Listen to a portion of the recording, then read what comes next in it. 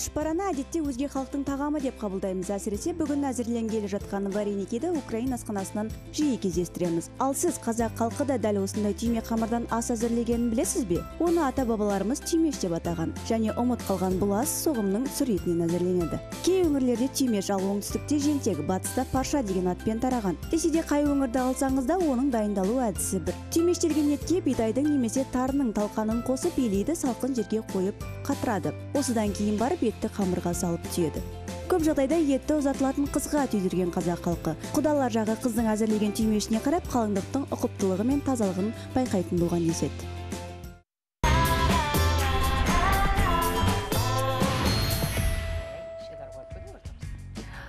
Олай болса біз тыңдарманның көрерменнің алтын уақытын алмай бірден іске көшейік. Енді сіздерден ә, сұлушаш апамызды көрсетіп көрімдікті сұрағым келіп тұр өйткені көптен көрін- көрінбей кетті. Біздің мен өзім кемпірдің қызымын менің апам сізді ерекше қатты жақсы көретін. рахмет жаным. біздің енді жас үлкен сіздің замандастарыңыз сізді сағынып жүрген ә, тыңдармандарыңыз дауысыңызға тәнті болып жүрген өнердің шын жанашырлары сізді көріп қатты қуанып отырған шығар деп ойлаймын. Біздің сұлушаш апайымыз тек қана күміс көмей әнші емес сонымен қатар бес аспап аспаз екенін де тыңдарманның ә, есіне сала кеткім келіп тұр. Бүгін біз ерекше тағам жасайын деп тұрмыз. Вареникиді түймеш деп аударып жатыр екен негізінде. Енді бұның аудармасы көп бұған біз тоқталатын боламыз. Сұлушаш апай айнұрдың асханасына қош келдіңіз. Рахмет жаным. Кішкентай кезімізде енді мен өзім сахнадағы қыз келіншектерге қатты еліктедік солай сүйсініп тыңдайтын еліктейтін сіздің қазақы бөрікпен шығып ә, айтатын әндеріңізге болмысыңызға қатты қызығатын Иә, едім иә. күндердің күнінде осындай асхана жүргіземін. Сұлуша апай менің қасыма келіп тамақ істеп тұрады иә деп иә кім ойлаған? Иә. Теледидардан көрген кезде қол жетпес арман аспандағы жұлдыз болып көрінетін едіңіздер. Мінекей армандар орындалады екен көрінген таудың алыстығы жоқ екен. Бүгін мінекей қасыма келіп өзіңіздің керемет Иә, сенің әдісіңізбен асханаңда. бөліскейін деп тұрсыз иә сіз қазір астана қаласында тұрып жатырсыз ғой? Жоқ мен алматыда тұрмын алматыдан арнайы келдіңіз арнайы келдім. Арнайы келгенде мынау э, алдымен басқа бір шаруалармен келгем. Осы жеті сегіз күн болды алматы астанаға астана келгенімізге. Ұнап жатыр ма сізге? әрине ұнайды ғой ел- иә? елордасы. Астанаға бір жола жылжу ойда жоқ па? Енді оны маған әдетте өнер адамдары мынау көп сұрақ береді осы келу туралы. Біз енді сұлушаш апай айтты маған. Нан илей алмайтын нан жей алмайтын қазақтың қыз келіншегі Иә, жоқ деді. Ол деген масқара деді. Нан илеуді көрсетіп тұру деген деп маған Иә. біраз ұрысып алды жаңа эфирге дейін. Соны Иә. сіздерге де айта кеткім келеді. Кәдімгі нанды илегенге кәдімгі жұмыртқаға тұз су қосып илейміз да иә жаямыз кәдімгі Бүгінгі- ә- әр отбасындағы әр келіншектің нанды илеуіне байланысты. Иә. біреудікі болбырап кетеді қалай болса солай. Біреудікі керемет тастай қылып илейді.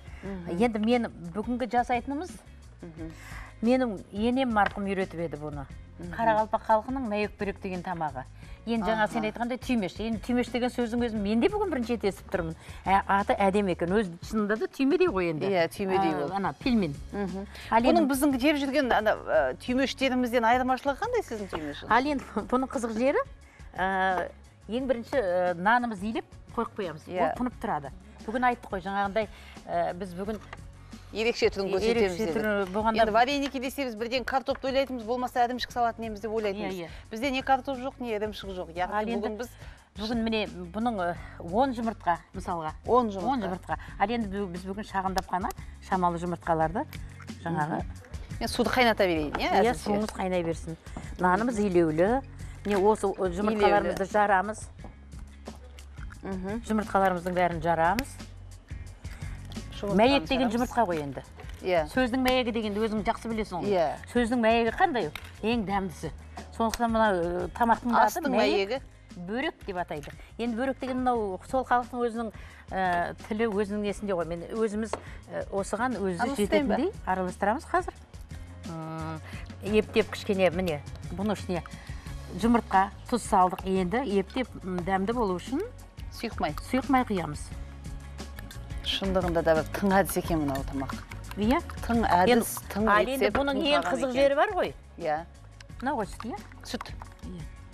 сүт құямыз бір екі Иә, қасық бір, бір екі қасық бұның қызық жері жаңағы біз жасаған ә, ненің ішінде ол ә, мына біздің дөңгелек деген осы ә, нанымыздың ішінде бұл жұмыртқаның тұруы ағып кетпей.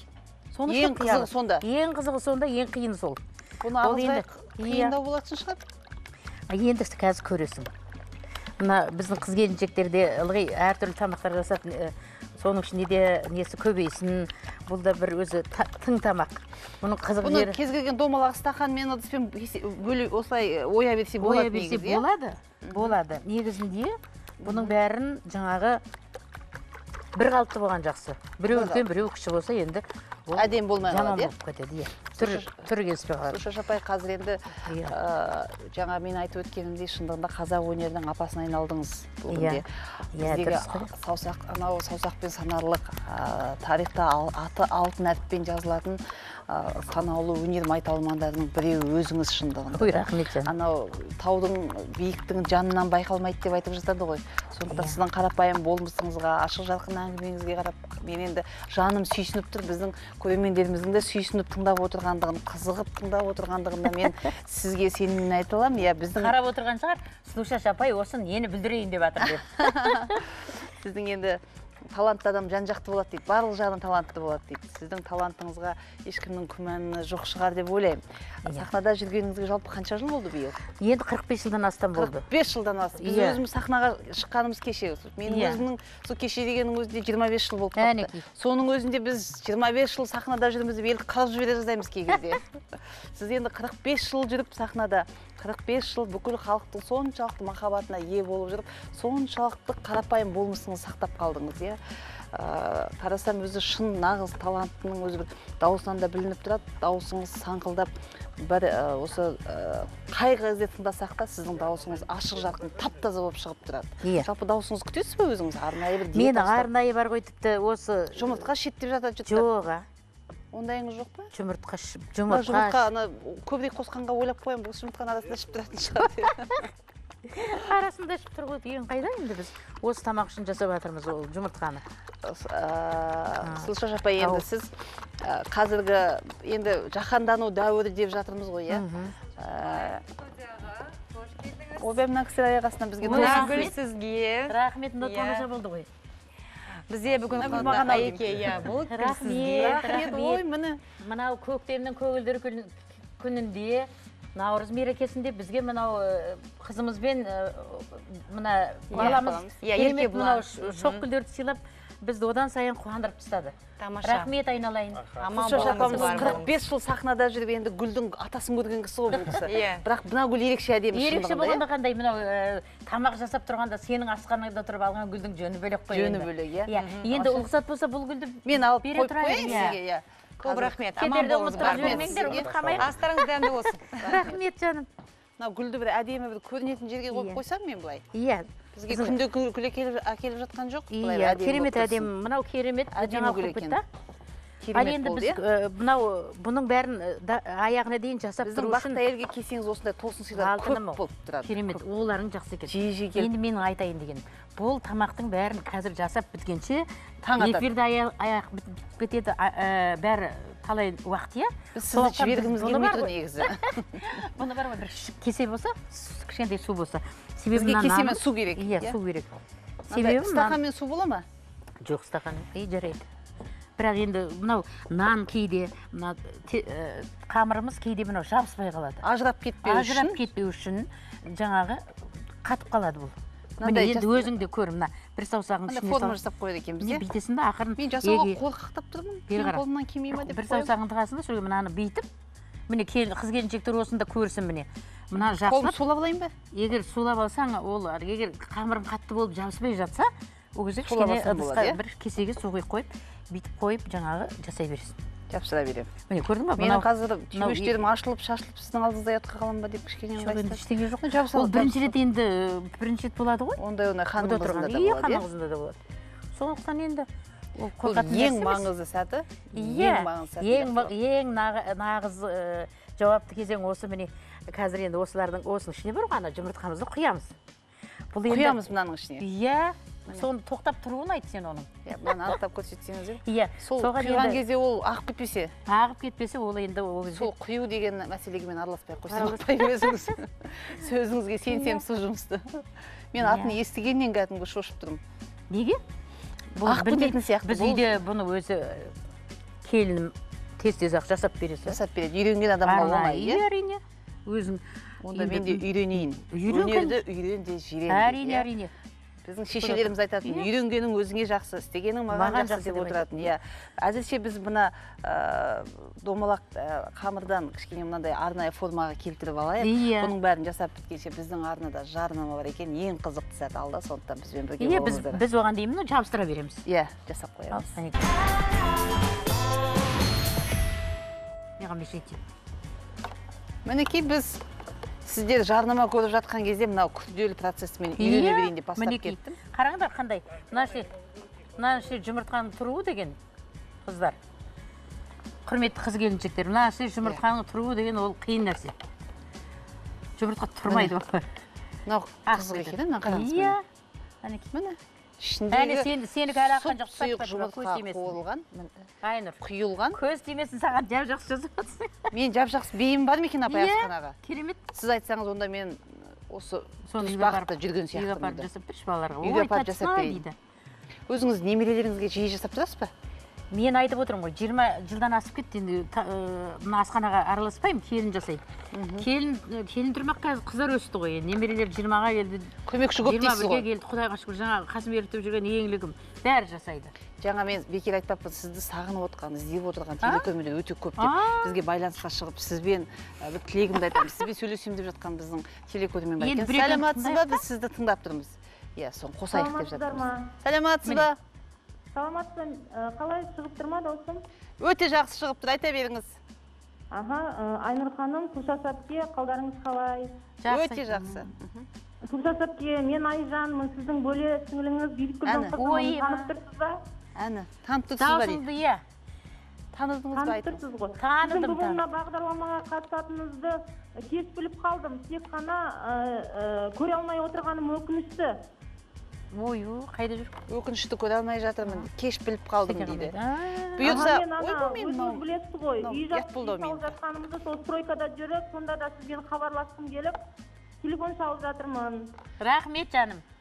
Рахмет үлкен. өнерде тек еңбегіңіз жана берсін дегім келеді. Ештеңе қылмайды ақса бәріміз сізді жақсы көреміз. Мына сізді көріп жатқан халыққа айтарым біздің тұтас әпке өмірде қандай болса мына тура тікелей эфирде қазір қандай болмысымен болып тұрса өмірде де сондай қарапайым жан.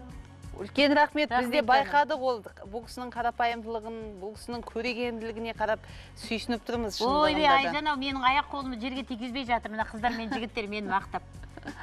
Шындығы сол апай. Сіз қандай мақтауға да лайықтысыз сұлушаш апай енді сіздің мен өзім осы айнұрдың асханасына сұлушаш нұрмағамбетова келеді дегенді өзім ести салып сіздің атыңызды естісем мен анау. Жақсы көру жақсы көру не деген керемет ең? Өмірді сезінуге қуанып көз ілуге адамға жақсы көру керек екен қазір енді деген. Түрлі тренингтің заманы ғой психологияны көп насихаттаймыз. Сол кезде бақытты болу үшін бай болу үшін не істеу керек дегенде бір ақ нәрсені айтады. Жақсы көру керек екен адам. Иә, әрине. Жан жағыңның бәрін жақсы көру өзіңді өмір жақсы көруден тұрады. Міне ең міне сөздің атасы осы Иә, деп ойлаймын сондықтан бір бірлеріңізді қашанда жақсы көріңіздер өмірге жақсы көзқараспен қараңыздар. Жаман адамның да бір жақсы қасиетін тауып үйрену керек иә? Жақсы көріп үйреніңіздер. Анасынан туғанда адам жаман болып туылмайды ғой. Міне. Ана бір рекламада неше түрлі ұлттардың баласын көрсетіп жатады мен айтамын құдай ау ананың түрін қарашы деп. Содан Иә. қандай неше түрлі қазір мына неше түрлі хабарларды естиміз ғой. Ана жерде өйтіпті мына жерде бүйтіп сол сәби сол сондай тас жүрек болып туылмайды ғой. Мынаны қарашы енді бүгінгі сондай абырой деп ойлаймын. Ешқандай да біздің бүгін мынау неміз жарылған жоқ. Әдемі болып пісе қалды иә. енді қараңыз міне піскен кезде піскен түймеш өзі судың бетіне жаңа апай айтты ғой. Томп етіп бетіне атып Томп шығады. деп. бетіне шығады. томпиып әп әдемі Иә, болып судың бетіне шыға қалды. енді біз осының кішкене ғана бір қайнағанын күтеміз да иә ала қоямыз иә. иә бұл сосын әдеттегі вареники сияқты езіліп шашылып берекесі қашпайды екен. Енді ол нанына байланысты түсінген мынау қалың емес жұқалау етіп мынау жарып илену керек негізінде. Міне Енді- нанымыз да бүгін жақсы жаман емес әрине. Мынау ерекше Иә. рецептіңізге ерекше тағамыңызға үлкен рахмет.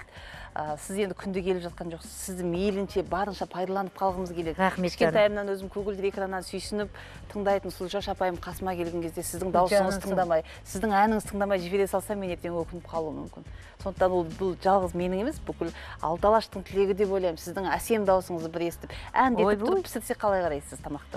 Енді кез келген ә, әйелдер осы қай жерде жүрсек те әсіресе тамақ жасап жүргенде ыңылдап кетеміз ғой. Иә. Енді мен ә, анамнан үйреніп едім кішкентай кезімде. Ә, ну бала кезде. Ақау құмған деген ән. Ал керек болса айтайық ал хауқымған ай көрінер аяқ үйдің ой маңдайымнан ай берген қамтың кетпейді ау таңдайымнан ай ақау құмған ай отта тұрған ай айналайын көзіңнен ашып жұмған ай аузыңды ашсаң ай көрінер оу. Маржан түсің ай не демейді сыртыңнан дұшпан кісің ай десе десін ай сыртыңнан оу. Дұшпан кісің ай білінбей ме жақсыға еткен ісің ай. Ақау құмған ай отта тұрған ай айналайын көзіңнен ашып жұмған ай. Қардастарым ай жекжаттарым ай әдейі іздеп аулыңа кеп жатқаным ай. Бәрекелді деген. сырлаяқтың сыры кетсе де сыны кетпейді дейді мен. Нағыз әнші міне ойбай тамағымызға қарай әндетіп да кеттік қой әуелі. сахнаға көп шықпай жүрсе де көгілдір экраннан көрінбей жүрсе де сұлшаш апайымыз өзінің бабында екенін әлі көрсетіп жатыр дауысыңызға Міне. әсем әніңізге әдемі дәміңізге үлкен үлкен рахмет. Мынау ерекше тағам мен міндетті түрде Иә. бұны жасайтын боламын. Міне әп әдемі бүгін томпиып ары қаратай жалғастырып мінекейіңіз жарылған да жоқ шашылған да жоқ. Топ томпақ болып әп әдемі болып пісе қалды. Енді бұған ә, езіл- не, езіліп кетпес үшін ә, арасына май салып қоюға болады. Май салып ә, қаймақ иә? Иә қаймақ содан кейін жаңағы айран да қосып жіберсе болады мына иә? еттің нанын түсіргенде ә, әлгі тұздығын құйғанда майлы тұзды құйсаң бүйтіп ойнап тұрады. Иә. мынау қазір егер ішіне арасына май салып сондай қолданбасаң алланың бәрі бір біріне жабысып қалады. Содан кейін берекесі кетіп бірінің жұмыртқасы біріне біз мына кетеді. біреуін ғана мен ортасынан кесіп көрсетейін иә? Ие. Мына қараңыз қандай әп әдемі болып пісті мінекейіңіз ортасынан бөлдік. Міне көрініп тұр. Әп әдемі жұмыртқа. Иә. керемет әдемі. Түймешіміз пісті сұлшаш апай енді бізге алтын уақытыңызды қиып алтын басыңызды иіп келгеніңізге үлкен рахмет. Жалпы өнер дегеніміз киелі ұғым үлкен ұғым ғой. Ә, қазір енді кешегі сахнаға бүгін шыға салып ертесінде клип түсіріп үшінші күн жан жағын танымай қалып жатқан жастар да көп екендігі анық енді оның несін жасырамыз. Өнер болғаннан кейін бұл атақтың буы деген ақшаның буы деген білесіз ә, көп адамның өзгеруіне ықпал етіп жататындығы ащы шындық енді оны айта кетуіміз керек. Бірақ енді сіз 45 жыл осы халықтың махаббатында болдыңыз. Сізді танымайтын ә, сізді танымайтын қазақ жоқ еді біздің кезімізде. Қазір енді жастар мүмкін танымай жатқан болар білмей жатқан болар. Иә мынаған мен кішкене қаймақ қосып қояйын иә. Танымай жатқан болар ә, білмей жатқан болар бірақ сіздер қалай болған күнде де қазақ өнеріне атсалыстыңыздар қазақ өнеріне еңбек еттіңіздер. Ә, қазақ өнері үшін жатпай тұрмай жүгіріп осы ә, бүкіл күш жігерлеріңізді сарп етіп жұмыс жасадыңыздар. Енді соған қарамай сіз өзіңіздің бекзат болмысыңызды қарапайымдылығыңызды нағыз өнер адамының ә, нәзік жүрегін сақтап қалдыңыз әдемі даусыңызды сақтап қалдыңыз. Айнұрдың асханасына келгеніңізге үлкен басыңызды кішірейтіп келгеніңізге осындай әдемі болмысыңыз үшін әдемі мінезіңіз үшін сізге мыңда ол енді қалай мақтауға да лайықсыз. біз сізді мақтамаймыз біз сізбен мақтанамыз. Рахмет, сондықтан да өзіңіз сияқты біздің бекзат өнердің өкілдері қашанда аман болсын ауырмаңыз жүз жасаңыз. Енді сіздің жаңа тамаша дауысыңызды тыңдап отырып байқағаным халыққа сіздің әлі де беретініңіз бар екен. Сондықтан сахнаға шығыңыз апай. Сізді халық сүйеді халық жақсы көреді. Рахмет. сіздер сияқты нағыз өнердің өкілдері сахнада жүру керек деп ойлаймын. Рахмет. Бала шағаңыздың қызығын көріңіз келгеніңізге үлкен рахмет. Бүгін мен ерекше қуаныштатырмын сізді көріп бұйырса айнұрдың асханасына сіздің әлі айтатыныңыз мол екеніне мен сенімім мол бұйырса тағы да бақытты әйелдің төрінен сізді қонақ ретінде көреміз деп ойлаймыз. Алла берсін. Сондықтан бізбен болғаныңыз үшін мың үлкен рахмет аман сау алматыға жетіп бізден үлкен үлкен дұғай дұғай ыстық ыстық сәлем айтып барыңыз. Рахмет алла берсін. Қымбатты көрермендер бізбен бірге мынау ерекше рецептпен жасалған түймешті жасап жатқан болсаңыздар ас болсын. Бақытты әйелмен қашан да бірге болыңыздар. Біздің сіздерге айтатынымыз мол болсын.